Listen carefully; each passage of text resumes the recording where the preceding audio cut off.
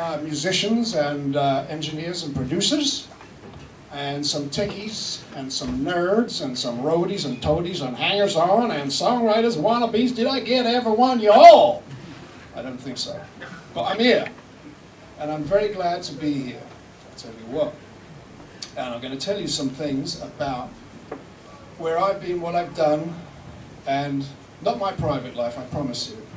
Uh, but firstly, I've got to thank some folks. Uh, this gentleman named James Young, there he is, stand up, take a, take a bow, from Sonic Distribution. Whee! Uh, Strong Room, Bryn Simone, Al, yay, all these guys. They did a great job, thank you very much. Yes, it was quite a trick putting this all in this room. I don't know if this room has actually ever been this packed. Have you ever seen it this packed? Who knows this room? Who's been in here before? Has ever been this much? No. No? Good. So going to keep on drinking and having a party. But uh, a little bit about where I came from, which was Cape Town, South Africa. And if there are any South Africans in here, go home. No,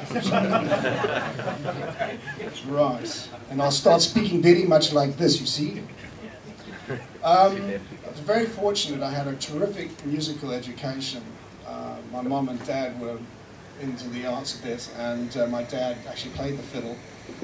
And um, I learned classical piano at a very early age.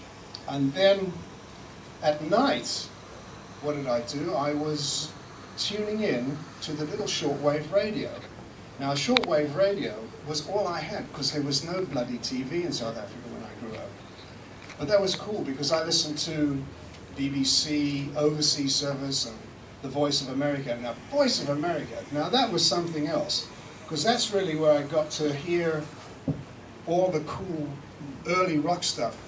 Um, Little Richard drove me insane. I had to try to figure out how the hell did he play piano like that. It was just so percussive and amazing.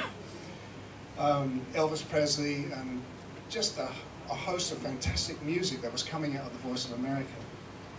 And um, the thing that probably stuck in my brain, I didn't realize it subconsciously, was the sound of shortwave radio tuning in. You know that.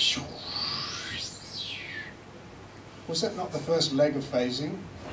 Must have been. Anyway, um, around about 1960, I immigrated to the UK.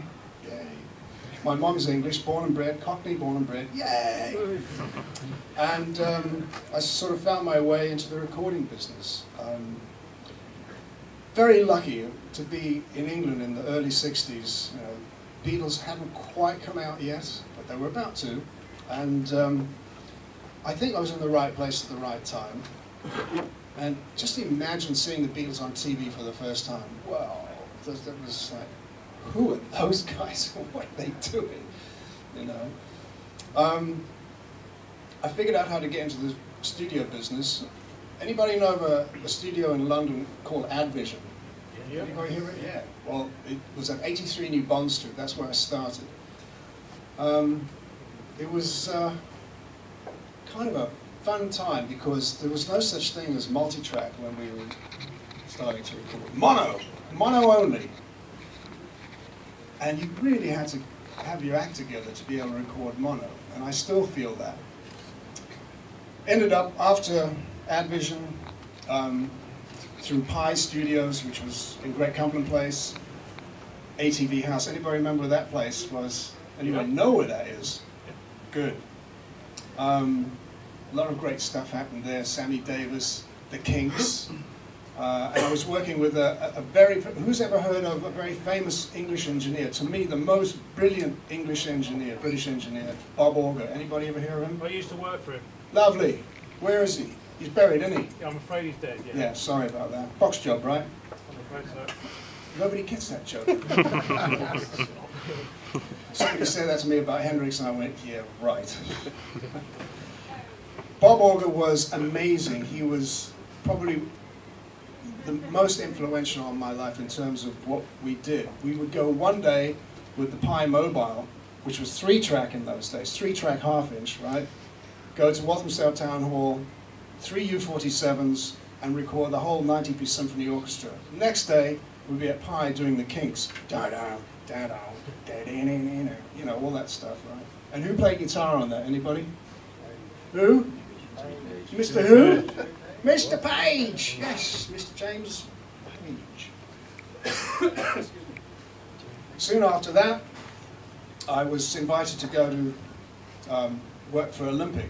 Now, as you all know, Olympic was an independent studio that was not tied to any of the major labels. All the major labels, of course, Pye, Decca, Philips, of course, EMI Abbey Road, they were the independent, they were the, the major label ones where the, the artists were kind of forced to go and record there.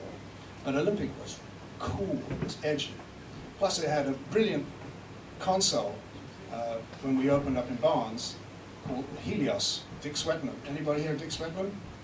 Young person? Oh, Yep. oh, that's good. But that studio, because it was independent and edgy and had cool consoles and a very, very different sort of attitude, it wasn't stuffy, became the, the haven, the sort of center for all of rock gentry. From January of 67, the beginning when we opened, we had Jimi Hendrix, of course, the Stones, uh, Traffic, and the Beatles, which was very unusual.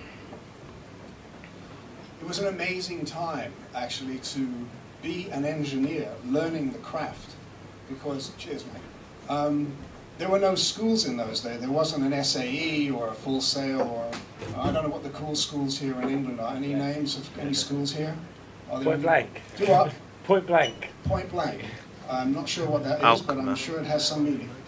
But um, this was learning from the school of hard knocks. You got kicked in the ass if you didn't do it right, or you got fired, or both. Um, and of course, I was the ubiquitous T-boy, you know, stag- staggering around the studio. And if, if there are any T-boys around here, you know what I mean, you know, stagger around with the big tray. I love you, more sugar in that. and then, of course, you had to clean the toilets. We all know about that. Um, by the end of 67, I was asked by the record plant in New York to come over to the States because Jimi was moving from London to New York to continue working and living. And uh, I thought about it for about 30 seconds. I said, yeah, that was it. And so I arrived there in 68, and I continued working with him. I, during 67, we did a couple of albums you may have heard of. One is I Experience, and that was Axis. Anybody know those records? Yeah. Oh, okay. Wow, had me worried for a minute. Um, amazing to work with a, a, you know, probably the world's greatest guitar player. But here we are in, in New York in 68, and we're starting on Electric Ladyland. What's not known is the fact that Electric Ladyland started in England as a four-track. In fact, um, Crosstown Traffic and all along the Watchtower were four-track masters originally, and then transferred over to 12-track one-inch. I missed eight-track completely. So there you are. Working in, in New York City was also a fantastic experience because it's a totally different culture. You know, the consoles are completely different. They had multi-tracks up the yin yang, and I was like, wow, look at all these tracks. And Hendrix went, whoa, man, 12 tracks, do you just fill them all up. And we did. and then, of course, we threw out that 12 track one inch machine, which was a Scully piece of crap. It sounded so noisy. And um, we transferred all of that stuff to 16 track. So all along the Watchtower started as a 4, went 4, 12, 16, so and it still sounded quite good, so we must have done something right, I don't know what. And after that, um, 69, of course, was the next year of fun and games. Um, there was a concert upstate New York called Woodstock. I managed to have a little hand in that. Three days of drugs and hell, and I mean it.